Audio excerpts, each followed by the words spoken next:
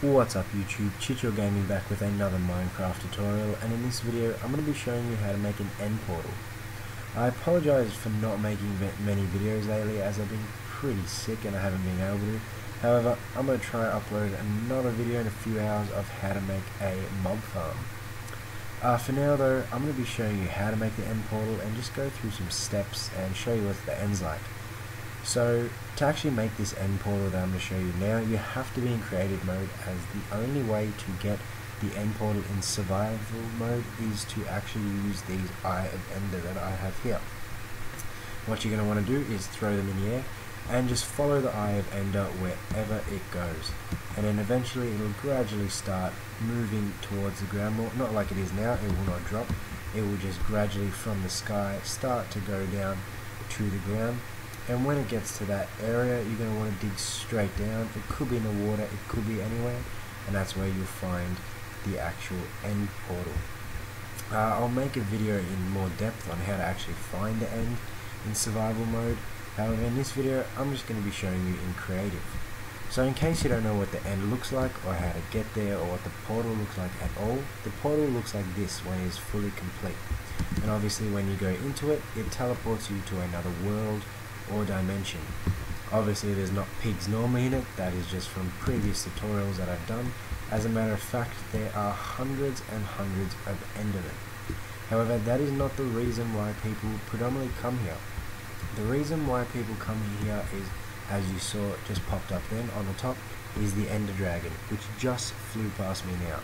Uh, a lot of people come in on their own if they got pretty powerful stuff or in groups to try and slay this Ender Dragon.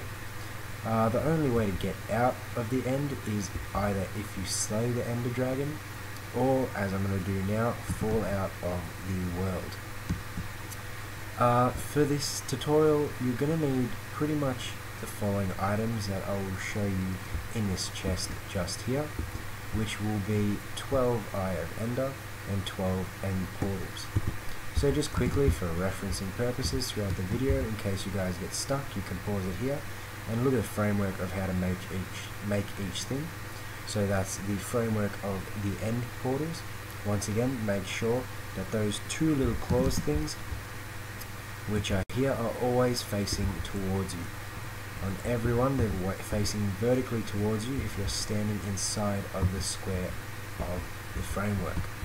And just for reference referencing purposes, here is the end portal once it is complete.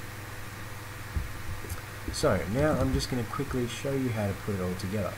So what you're going to want to do is start with your end portal and place three like so, making sure those two little claws are vertically facing you when you're standing in the middle.